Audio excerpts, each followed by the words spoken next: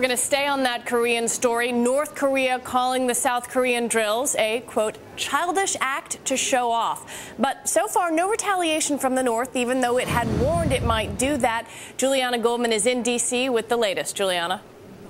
Well, good morning, Lizzie. The key word there is no retaliation just yet. We have not seen an immediate reaction from North Korea, but there is still a great risk that this could escalate. You know, the State Department has defended Seoul's right to hold the drills. After yesterday's emergency United Nations Security Council meeting, Susan Rice, the U.S. ambassador to the UN, said, quote, that the exercises are fully consistent with South Korea's right to self-defense. But she also did go on to say that it is safe to predict that the gaps that remain remain are likely, unlikely to be bridged. And what she's talking about is that UN Security Council meeting yesterday where after more than eight hours, the Security Council members failed to reach an agreement on a statement. Uh, members, they just could not agree, reach agreement with China, who did not want to condemn North Korea's shelling last month. And they issue, and uh, China issued a statement actually urging all the parties to er exercise maximum restraint. Now, this also comes as New Mexico Governor Bill Richardson, he's the former U.S. ambassador to North Korea. He is in North Korea on an unofficial visit. It's been approved by the State Department, but of course it is unofficial. He has continued with those meetings today